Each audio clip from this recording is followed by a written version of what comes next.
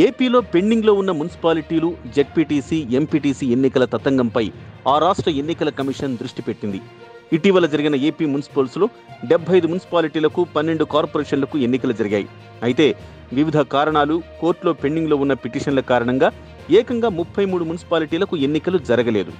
అయితే ప్రస్తుత పరిస్థితుల్లో వాటిల్లోని పదకొండు మున్సిపాలిటీలకు ఎన్నికలను నిర్వహించే అవకాశం ఉన్న విషయాన్ని ఎస్సీసీ పరిశీలిస్తోంది. ఈ పదకొండు మున్సిపాలిటీలకు ఎన్నికలు నిర్వహించడానికి చట్టబద్ధమైన ఆటంకాలు లేవనే విషయాన్ని పరిగణలోకి తీసుకుని వీటితో పాటు నెల్లూరు శ్రీకాకుళం కార్పొరేషన్ల ఎన్నికలను నిర్వహించడానికి ఎస్సీసీ రెడీ అవుతున్నట్టుగా తెలుస్తోంది.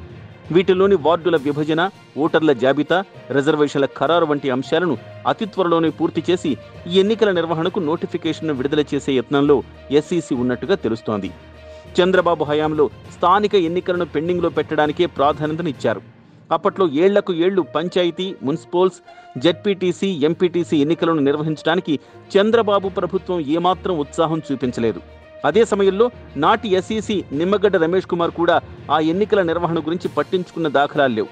తన పదవీకాలం ముగుస్తున్న దశలో ఎన్నికల నిర్వహణకు ఆయన పట్టుబట్టారు కానీ టీడీపీ హయాంలో అలాంటి ప్రయత్నాలు చేయలేదు. అయితే ఇప్పుడు ఏ ఎన్నికలు పెండింగ్లో లేకుండా పూర్తి చేయాలనే ప్రయత్నం కనిపిస్తోంది. పెండింగ్లో ఉన్న త్వరలోనే మున్సిపల్ ఎన్నికలు జరిగే అవకాశం ఉన్న municipal కార్పొరేషన్లలో Penukonda municipality Nellore corporation Kuppam municipality వంటి ఆసక్తిదాయకమైన రాజకీయ వేదికలున్నాయి.